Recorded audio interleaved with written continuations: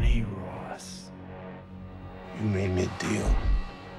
I could have put you in the deepest, darkest hole, but I kept you out because I knew that one day would come when you were going to pay me back. And today's that day.